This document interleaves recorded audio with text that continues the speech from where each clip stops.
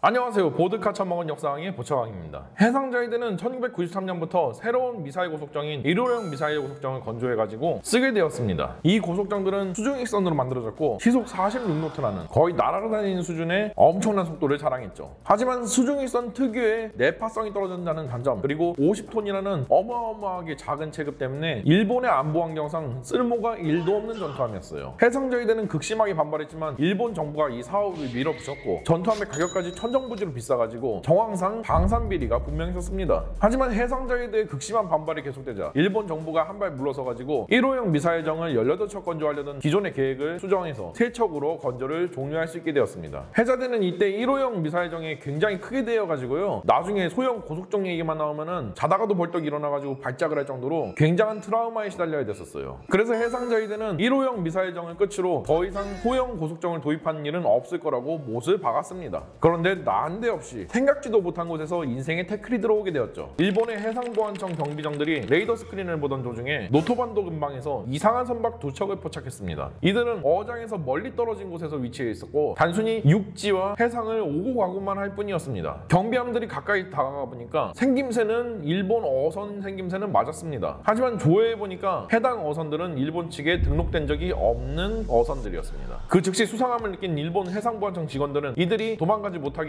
방해하려고 했지만 두 척의 괴선박은 자신들이 들켰음을 미리 눈치챘고 곧바로 40노트라는 엄청난 속도로 질주하면서 북한 방향으로 도주를 시작했습니다. 그들의 정체는 바로 육지에서 일본인들을 납치해가던 북한의 간첩선들이었던 거죠. 경비함들은 즉시 추격을 시작했고 주변에 있던 해상보안청 그리고 해상자위대 전투함들한테도 도움을 요청했습니다. 마침 전년도이던 1998년에 북한이 대포동 미사일을 발사해가지고 북한의 탄도미사일들을 감시하는 목적으로 해상자위대의 이지스함들이 동해상에 레이더 피켓 임무로 나와 있는 상태였어요. 그리고 그 이지스함들을 보조하기 위한 많은 해상자위대의 주력 전투함들이 동해상에 나와 있었고요. 그래서 두 척의 간첩선을 잡으려고 이지스함을 포함한 해상자위대 주력 함대까지 달려들어가지고 20시간이 넘는 추격전을 벌이게 됩니다. 근데 일본 측은 기관총으로 간신히 경고 사격만 해댈 뿐 이들을 좀채 납포하거나 격파 사격을 해서 격침시키는 시도는 하지 않았어요. 왜냐면 일본은 전범국이라서 전수방위 원칙을 따르는 국가였기 때문이죠. 따라서 선제 납포나 선제 격파 사격이 금지가 되어 있습니다. 먼저 공격 당해야지만 대응 사격 을 할 수가 있는 거예요. 때문에 해상자위대와 해상보안청 전투함들은 북한 고속정 측에서 선제 사격을 하지 않는 이상은 내가 먼저 격파 사격을 시도할 수가 없었던 겁니다. 북한 간첩들도 이 점을 훤히 알고 있었기 때문에 일부러 총알 한 발 쏘지 않고 유유자적 북한 방향으로 도주를 했던 거고요. 심지어 해상자위대 전투함들은 해상보안청 경비함들보다 훨씬 더 교전 수칙이 복잡하고 굉장히 제한적이라 가지고 경고 사격조차도 제대로 할 수가 없었어요. 그래서 해상보안청에 20mm 발칸포로 간신히 경고 사격해주고 있었고요. 그래서 당시 동원된 해상자위대 전 투함들은 사실상 허수아비나 다름없었어요. 결국 해상자위대 주력함들까지 달라붙어가지고 진행한 20시간의 추격전은 북한의 간첩선 두 척이 유유히 북한의 영해 안으로 들어가 버리면서 참담한 대실패로 끝나게 되었죠. 일본 측은 용의 선박들이랑 간첩들을 내놓으라고 북한 측에 요구했습니다. 하지만 당연하게도 북한 측은 일본이 비열한 주작극을 벌인다면서 비웃어댈 뿐이었습니다. 이 사건이 전 세계의 해외 토픽으로 알려지자 한국은 물론이거니와 중국이나 미국의 당국자들도 웃음을 참느라 굉장히 고전했다고 하니 과연 일본 국내에서 해상보안청과 해상자위대에 대한 여론이 어땠을까요? 쓸모없는 것들 산소 아깝다. 당장 할복해버려. 어디 가서 해상자위관이라고 하면은 돌 맞을 법한 그런 분위기가 형성되었죠. 안 그래도 당시에는 북한의 핵개발 그리고 일본인 납북 문제 대포동 미사일 발사 이런 것 때문에 북한이랑 일본과의 관계가 굉장히 험악한 상태였는데 이런 일까지 터져버렸으니까 일본인들은 아주 해상자위대를 갖다가 십자가에 매달아가지고 화형시킬 기세였습니다. 이런 상황이 편승해가지고 자기 지지율 한번 거하게 땡겨 먹으려는 정치인들까지 이 난장판에 끼어들면서 상황은 점점 더 꼬이기 시작했습니다. 정치인들은 연일 TV에 나와서 이 사태의 원인이 작고 빠른 고속정이 부족해가지고 벌어진 일이라고 사람들을 선동하기 시작했어요. 간첩선을 못 잡는 이유가 뭐겠습니까? 바로 작고 빠른 고속정이 부족해서 그렇습니다. 고속정을 만들어야 됩니다. 그리고 이런 정치인들은 한국 해군이 80년대와 90년대 들어가지고 작고 빠른 고속정들을 많이 만들어서 북한의 고속정들과 간첩선들을 효과적으로 때려잡았다고 선전했죠. 하지만 실제로 당시 노토반도 괴선 박 사건 당시에 일본 해상자위대 전투함들은 간첩선을 좌우 사방에서 전부 포위했기 때문에 충분히 납포가 가능한 상황이었어요. 심지어 격파도 가능했고요. 다만 전수방위 원칙이라는 교전 수칙 때문에 아무것도 할 수가 없었을 뿐입니다. 또한 간첩선 사냥이 사실상 주된 임무라 가지고 이 분야에서 만렙을 찍은 한국 해군이랑은 달리 일본의 해상자위대는 간첩선을 사냥한 경험 자체가 그다지 많지도 않고 또 대간첩 작전 관련해서는 관련 시스템이 전무했기 때문에 벌어진 일이라고 볼 수 있죠. 그런 시스템을 개선하고 교전 수칙만 살짝 바꿔주면 해결이 되는 간단한 문제였습니다. 실제로 해상자위대와 해상보안청은 교전 수칙만 살짝 개선하자 2001년 침투해온 북한의 간첩선을 성공적으로 격침시켰거든요. 하지만 정치인들은 국민들한테 보여주면서 자랑하고 의수될 만한 성과가 없는 그런 정책은 싫어하거든요. 항상 뭔가 예산이 많이 낭비되지만 보여주기식 정책을 좋아한단 말이죠. 그래서 정치인들은 강제로 미사일 고속정을 만들어가지고 해상자에 납품시키기로 결의했습니다.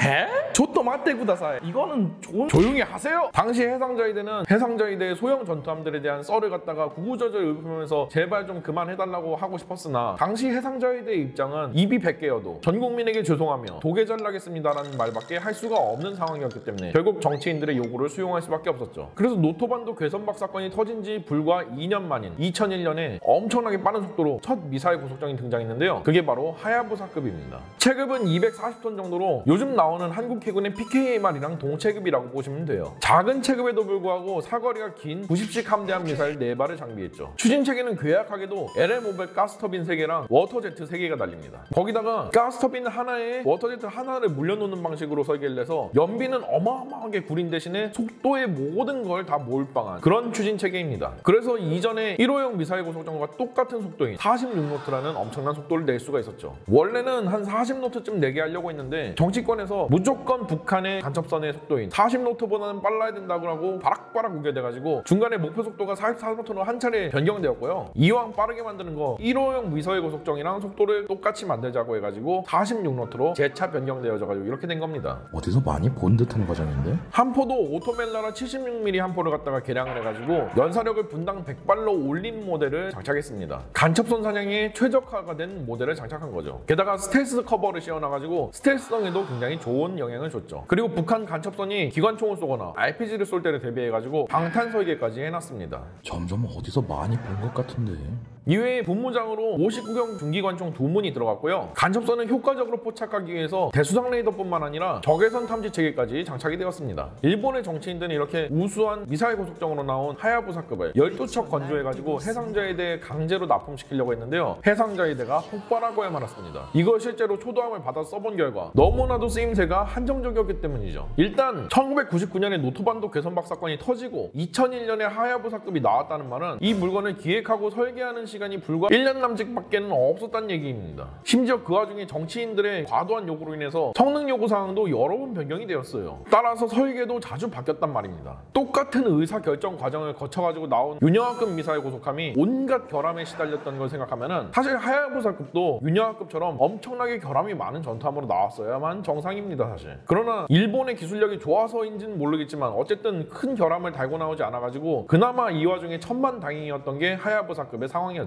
그러나 가장 큰 문제는 이 물건을 무슨 목적으로 만드는지에 대한 게 기획 단계에서 제대로 반영이 되지 못했다는 겁니다. 하야부사급은 대놓고 북한의 간첩선을 잡기 위해서 나온 물건입니다. 근데 경고 사격을 해줘야 될 부포가 화력과 사거리가 굉장히 떨어지는 59경 중기관총이에요. 같은 부포를 장착하고 있는 한국 해군의 PKMR조차도 59경 중기관총의 화력이 구리다고 해서 20mm 이상급의 기관포로 업그레이드를 해야 된다는 주장이 심심찮게 나오는 판국인데 일본이라고 이게 충분했을까요? 그러면은 경고 사격을 76mm 한 포로 해줘야 된다는 건데 이거는 굉장히 과하죠. 그리고 격파 사격용으로 쓸 포탄을 낭비해야 된다는 점에서 전투 지속 능력 면에서 굉장히 악영향입니다. 90식 함대함 미사일도 문제가 좀 있어요. 간첩선을 상대할 때는 소수의 고성능 장거리 정규 대함 미사일을 달고 있는 것보다는 다수의 소형 대함 미사일을 달고 있는 게 훨씬 더 유리합니다. 왜냐면 소수의 정규 대함 미사일들을 장비했는데 만약에 이 대함 미사일을 쏴야 될 상황이 왔었을 적에 간첩선이 너무 작아가지고 이 대함 미사일이 빗나가 버리면은 그때는 뭘로 싸울 건데?